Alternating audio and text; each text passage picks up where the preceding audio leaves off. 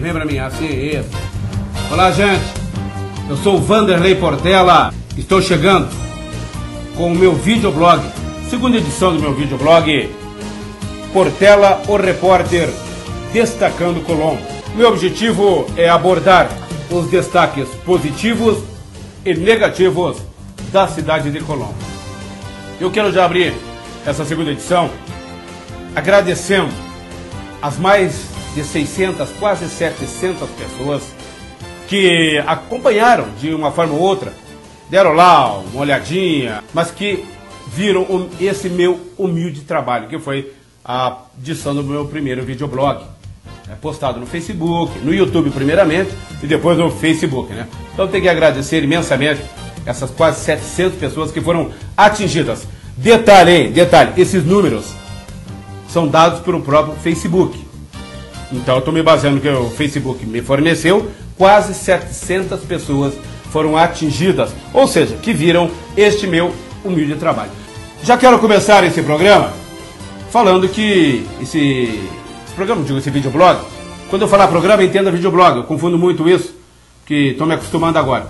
Mas esse meu vlog aqui, ele tem por objetivo, como já falei, atingir né, a cidade de Colombo, mostrar os seus destaques positivos e negativos aquilo que ocorre no dia a dia. Pena que o nosso tempo, o meu tempo aqui é curto, né, bem que gostaria de poder trazer mais assuntos. Mas eu já quero começar com um destaque extremamente positivo, extremamente positivo, um troço que eu acho assim maravilhoso. Eu tenho uma parceria, eu, Portelo, repórter, desde a Rádio Maracanã, radiomaracanã.com.br, do meu amigo Hélio Costa, do Orlando Silva, que trabalha lá com ele, baita profissional, meu amigo da antiga, e desde aquele tempo lá eu já mantinha uma parceria e mantenho até agora com o Sandro, do restaurante Copacabana. Sandro Copacabana. E o que, que eu fiz durante essa semana? Eu pedi para que as pessoas é, mandassem né, um, ali, um curtir, é, deixar um recado para que eu pudesse anotar e quando viesse aqui nessa gravação, fazer o sorteio de um almoço para duas pessoas. Pode ser casal, pode ser quem quiser. Para duas pessoas lá no Copacabana. E o que, que eu fiz? Eu peguei aqui, ó, vou mostrar aqui, pode. Isso, dá mais um. Que isso. Tá aqui, gente, olha. Aqui são algumas das pessoas que participaram, né? Vou até virar aqui, ó, tá aqui nomes, né? Nome de pessoas que participaram, que pediram para concorrer. Normalmente, tem pessoas de fora de Curitiba, isso, pode voltar mais, pode voltar mais, isso. A cara também não ajuda muito, né, cinegrafista? Não dá, né? Não dá pra. Se ficar muito no zoom fechado, ninguém vai aguentar, né? Nem eu aguento a minha cara de vez em quando. Mas falando lá desse sorteio, então as pessoas ligaram, ligaram não, perdão, mandaram lá recado, curtir é, via inbox e estão aqui alguns daqueles que é, pediram para participar. Muita gente de Curitiba pediu para participar de outras cidades. Só que fica difícil, né, gente? Colocar na, aqui nesse sorteio que eu vou realizar e de repente a pessoa ser de outro município, não poder vir aqui. Enfim, eu procurei é, trazer o pessoal daqui de Colombo para que possa concorrer então ao, ao brinde lá, né, o oferecimento do meu amigo Sandro do restaurante Copacabana. Eu vou pedir para a produção, tenho aí um takezinho aí que eu fiz, um clipezinho do restaurante Copacabana, né, que eu produzi aí, eu mesmo montei, tomei essa liberdade, porque eu tenho um carinho muito grande pelo Sandro, né, o Sandro foi uma pessoa que veio parceiraço, né, veio aí comigo desde, é, desde o primeiro momento, me auxiliando. E do fundo do coração, eu quero agradecer imensamente a você, viu, Sandro? O restaurante Copacabana, Estrada da Ribeira, próximo terminal do Maracanã, o lugar é, é, próprio para a família, para os amigos. Olha, Portelo Repórter e Copacabana, a parceria que deu certo. Então tá aí a fachada do restaurante Copacabana. Olha aí o buffet, né? já, já, já deu fome, né, produção? Já deu fome. É, olha aí. Olha a feijoada. Sábado, uma feijoada. Produção da convidada e eu pago, viu? Sábado, olha, olha que maravilha. Restaurante Copacabana, a melhor costela assada de Colombo, Estrada da Ribeira, próximo ao terminal do Maracanã. Mas enfim, tá aí, né? O restaurante Copacabana, por gentileza, produção. Pode vir pra mim, vem pra mim, vem pra mim. Vem pra mim. Pode, é, pode puxar aqui, pode puxar aqui. Quero mandar ó, um agradecimento especial. Isso, assim. Mandar um agradecimento especial para você, Sandro. Você e toda a tua equipe. Muito obrigado não só por estar comigo, mas também pelo atendimento que você dá a mim quando eu vou lá, ao Nilmar José de Brito e todos aqueles que lá comparecem. Muito bem, dando continuidade aqui ao meu trabalho, deixa eu ver aqui que eu tenho aqui no, no meu script, saco positivo. O, tem um menino aqui de Colombo, o David Alisson de Colombo. Esse menino, ele é atleta de natação. Então, se tiver até a foto desse menino aí, ó, ele é vice-campeão brasileiro nos 1.500 metros livres em Aracaju. A competição foi lá no dia 4 desse mês, mês de junho. David Alisson é daqui do município de Colombo. É gente nossa, é de Colombo. Isso, vem para mim? Preparar o material aí do senador Roberto Requião. O Requião, senador pelo estado do Paraná, esteve essa semana, na, precisamente na sexta-feira, dia, dia 13 agora, no estúdio da Rádio Maracanã aqui em Colombo. Um grande abraço ao Hélio Costa, que coordena ali. É, então eu pediria que mostrasse as fotos. Elas mostram o senador Roberto Guião aqui em Colombo e sendo entrevistado numa rádio web. Então bacana, foi o ponto alto da Rádio Maracanã. Né, o Orlando estava lá, foi, no, foi lá no, no, blog do. Foi no programa dos blogueiros, né, do Wilson Vieira, do Newton do Rio, né? Esse pessoal que atendeu. E estava lá o Ismael Moraes, que é um dos grandes blogueiros aqui do estado do Paraná. Esse já é o momento em que o pessoal está recepcionando o senador. Ali está o deputado Kelsey, Nilmar José de Brito no meio, o vereador ali a, a, no canto. Pode mudar, pode mudando aí que eu vou falando. Meu amigo Rodrigo trabalha lá também na Rádio Maracanã. Lá o Ismael no fundo, o Wilson Vieira, o Nilton no Rio, o senador Riquião, o Kelsey no fundo. Vamos para a próxima. Vamos lá, isso aí. Ó, o Sandro Copacabana. Acabou? Vem para mim então. E agora prepara para mim o vídeo do senador Roberto Quião. Lá no programa, ele recebeu algumas perguntas. Ele foi sabatinado pelos internautas que acompanhavam o programa dos meus amigos blogueiros lá, o Mesa Redonda, lá pela Rádio Maracanã. E teve determinado ponto que alguém fez uma pergunta para o senador sobre Bete Pavim. Que, o que, que acontece? Bete Pavim era deputada do PMDB no passado. Do PMDB, velho de guerra, do Requião. Ela rompeu com o PMDB, foi para o PSDB, que hoje está junto do governo Beto Rich, e o Requião ficou muito pé da cara na época. Eu gostaria, se estiver no ponto, soltar então aí essa sonora que o Requião falou da prefeita Beth Pavim e também falou do vice-prefeito Ademir Goulart, que é do seu partido. Se tiver no ponto, pode soltar, produção, por gentileza. A sua admiração pelo bico da prefeita, acho que posso eu, não vou desfazer o bico da Beth. Eu sei lá por que circunstância a Beth saiu. Ela sempre esteve com a gente, nós participamos de, de campanha juntos, eu ajudei muito a Beth na primeira eleição, então eu realmente não sei. Eu conheço a Beth desde menina e eu não vou fazer o julgamento, eu estou que nem o Papa Francisco, né? Eu não vou fazer o julgamento da Beth. Vamos ver como é que ela se comporta nesse o processo. O vice-prefeito da cidade de Colombo é o Ademir Goulart, que é do PMDB. Até inclusive ouvi boatos que ele pode ser teu vice na chapa de governador. Confere isso, Raquel. É? é o segundo ou terceiro que eu já ouvi como pré-candidato a vice na sua Ismael, chapa. Ismael vai lá para o vice-prefeito dar uma contribuição para o blog. Olha, o vice-prefeito outro dia me disse, Requião, você sabe que eu comprei um cavalo seu? Eu fiquei, comprou um cavalo mesmo? Quem é pode vender um cavalo para você? Se eu nunca vendi cavalo e se os cavalos chegavam lá no Canguiri, eu patrimoniava para a polícia militar. Fiquei preocupado, será que alguém da polícia militar vendeu um cavalo que chegou para mim e eu passei para a polícia. Não era nada disso. Um dia chegou um potro lá, se não me engano, um, um manga larga, marchador, potro ainda, chucro. E eu pedi para o Osmar, que é o cavalariço ali do Marco Caron, de Campina Grande do Sul, domar o cavalo. O Marco domou o cavalo, se apaixonou pelo cavalo, e eu disse, olha, esse não vai para a polícia, o pessoal mandou para cá, fica você com ele. E o Marco mais tarde, o Osmar mais tarde vendeu o cavalo para o Ademir. Então, foi para mim um alívio. Na Polícia Militar do Paraná não houve pilantragem. Zé, pô, parece que você quer ser essa. Tem que rir. Zé, primeiro, o senador é, falou do bico da Beto Pavim, que se referiu ao PSDB, né? Por causa do Tucano e tal, né? E depois lá na, na recepção, eu estive lá também, perguntei para o senador como é que, como que Colombo, como ele iria se comportar sendo senador com relação a Colombo, e principalmente o fato de Beto Pavinho ter abandonado ele no passado, chutado o balde dele e tal, né?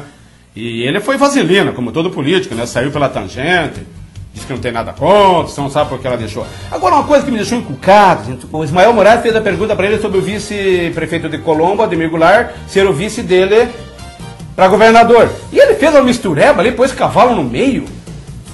Cara, não entendi. Ficou meio obscura essa resposta do senador. Não sei se ele se perdeu na resposta. E no final ele falou ali sobre traição.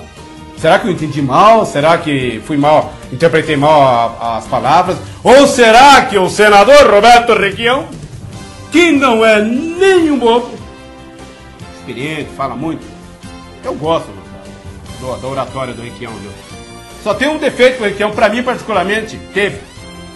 Quando ele quis sair governador por duas vezes, ele prometia. O que, que ele falava, gente? Ou pedágio abaixa ou acaba. Ou abaixa ou acaba. Nenhuma e nem outra coisa. Será que agora, vindo candidato a deputado, posso soltar a trilha mesmo? Posso subir a trilha aí? Posso subir a trilha? Posso subir a trilha aí, produção? Boa, posso subir a trilha. Agora é cacete.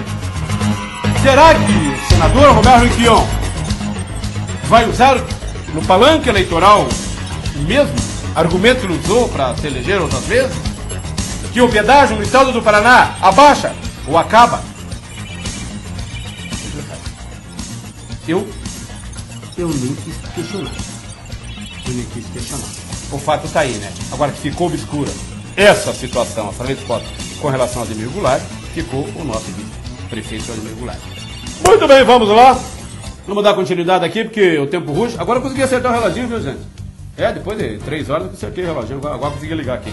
Se você anotar aqui, ó, vai ver que nessa câmera aqui, ó, esse lado daqui, né? Esse lado aqui, está branco.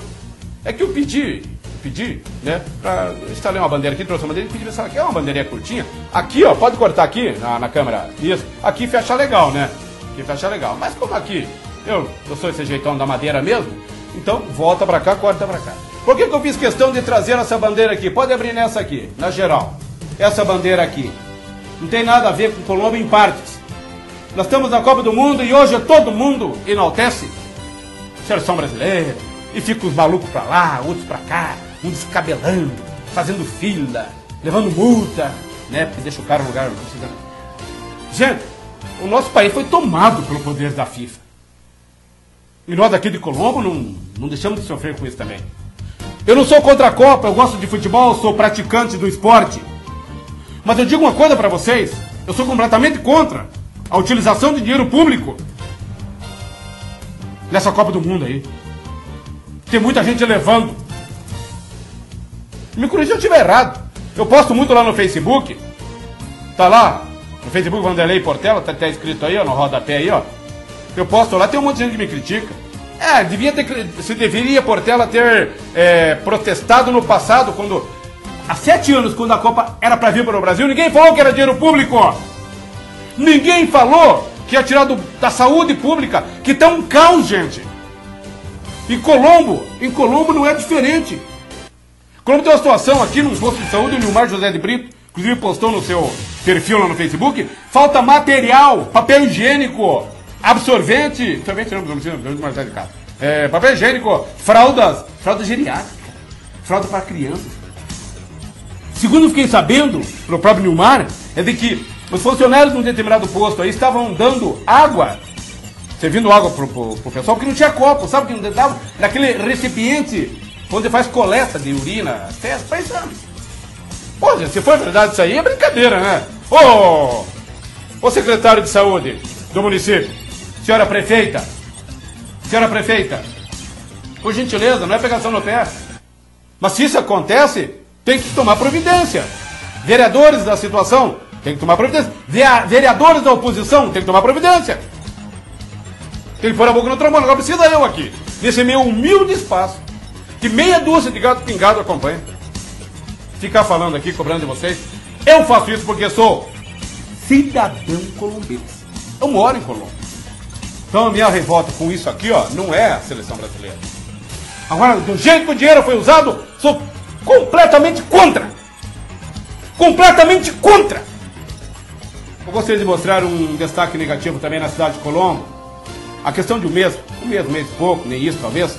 O programa 90, o repórter Iverson Vaz, meu amigo Iverson Vaz, esteve ali no Jardim Fátima, mais precisamente na rua São Gonçalo Amarante. Procura aí, produção, deixa já no ponto. Ali, morador Jardim Fátima. E ali o pessoal reclamava a questão de uma manilha. né? E o Iverson Vaz fez essa matéria e eu tomei a liberdade com a autorização do Roberto Acioli. Grande abraço, meu amigo. Tá à noite agora, 22 horas. Tá de manhã e tá à noite, 22 horas lá na CNT. Então tem essa matéria, se tá no ponto, produção? Tá no ponto. Então, solta lá a matéria do Jardim Fátima, depois eu comento. A nossa equipe está aqui no Jardim Fátima, Rua São Gonçalo Amarante. Aqui os moradores estão enfrentando um problema sério, uma valeta a céu aberto. O que eles querem é o manilhamento, aproximadamente 700 metros, mas estão abandonados. Quando chove, alagamentos. O odor é insuportável, mau cheiro terrível, sem contar a proliferação de ratos, insetos, baratas, aranhas. Deixa eu conversar com o Léo Barbosa. Léo, vocês estão enfrentando realmente um problema sério, a população está revoltada.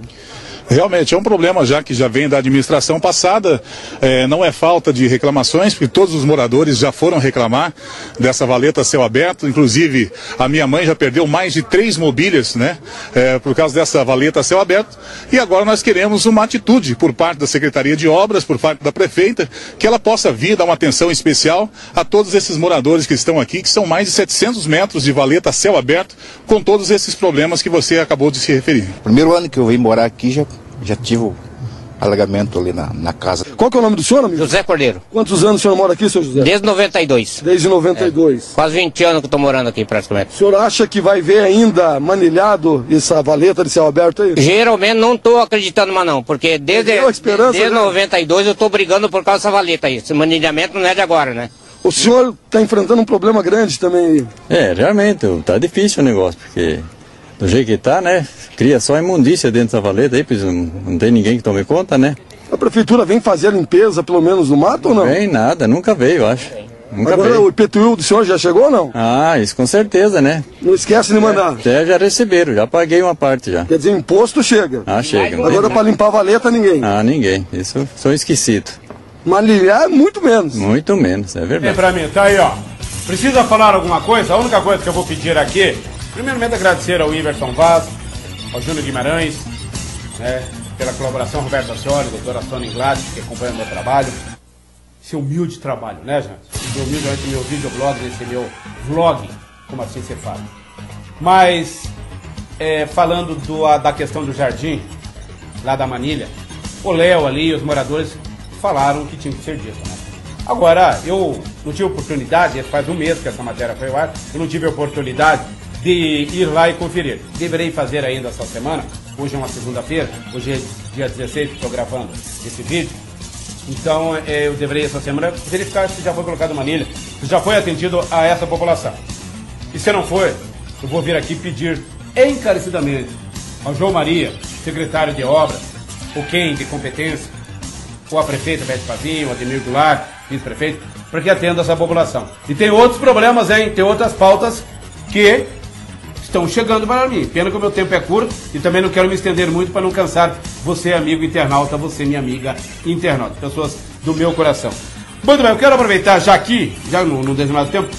Vamos, é, pode tirar o GC por gentileza, produção, só para que eu possa, se puder tirar o GC. Isso. Então aqui, gente, eu já vou tomar a liberdade aqui, ó. Tá aqui, ó. Tem uma série de, de pessoas aqui. É, vem pra mim aqui, por favor. Isso, tem um grafite, vem pra mim. Eu não preciso fazer xixi. Quem tá aqui foram pessoas que me procuraram, que curtiram o meu trabalho, que mandaram mensagem via inbox, que pediram para participar. Então eu não tenho necessidade. Se alguém falar bobagem, pode ir comigo no. no- é, pode voltar, pode voltar também? é, Cara, mais. É, se alguém duvidar da, da credibilidade aqui, eu convido para ir almoçar lá no Copacabana e eu pago. Eu pago, eu não, eu não vou me, me, me, me encolher. Então eu não jamais, porque eu tá aqui. Então eu vou já sortear aqui, ó. Antes que, antes que aperte o programa aqui, já no, no meu tempo já quase estourando, vou mexer aqui, ó. Ó, aqui, ó. Isso, vamos virar aqui, ó. É, é, é pode baixar mais a câmera? É pode me cortar. Isso aí. Deixa eu tirar essa, esse copo daqui.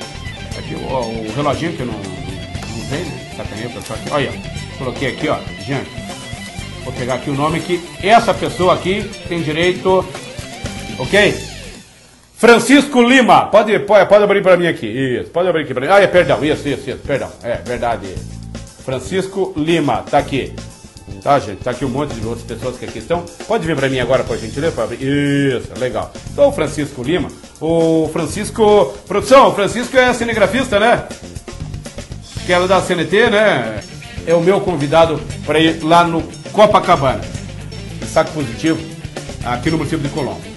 E quando o trabalho é feito, eu tenho que enaltecer, seja a situação ou oposição. Não estou aqui, sou neutro, mas tenho que enaltecer um trabalho que foi agora instalado é, essa semana, internet gratuita na zona rural de Colombo. Deixa eu achar aqui.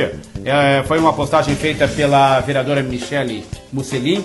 E a Michele escreveu o seguinte lá no seu espaço. A internet chegou nas escolas rurais de Colombo, primeiro a educação das nossas crianças. É, no dia 13 foram recebidos na escola em Buial da Roseira o ministro das Comunicações, o Paulo Bernardo, que esteve aqui no município, o deputado federal Ângelo Vagnoni e o presidente da TIM, Rodrigo Abreu. O ministro entregou oficialmente o serviço de acesso à internet de forma gratuita nas escolas rurais. Foram cinco escolas beneficiadas, né? Bom, segundo que ainda escreveu aqui, escreveu a, a vereadora em seu, seu espaço lá no, Facebook, o segundo investimento será, o segundo investimento que será feito serão as torres que serão erguidas em toda a área rural, beneficiando assim todas as comunidades. Há três anos, é, segundo ela, estava brigando, trabalhando para que fosse possível um dia viver essa realidade. Então, parabéns à vereadora Michelle Mussolini. É disso que o município precisa, de vereadores atuantes. Deixa eu fechar então esse meu espaço. Tô com quanto tempo aí, produção? Acabou? Então vamos lá. Posso, posso mandar uns abraços? Então vamos lá, rapidinho. Mandar um abraço pro Gerson, meu amigo Gerson, o rei do piso, que é piso laminado, é lá pro Gerson. Meu camarada, meu parça. Emanuele Martins, do primeiro jornal aqui de Colombo. Um grande abraço para você, jornalista de primeira. Um dia nós vamos trabalhar junto, Emanuele.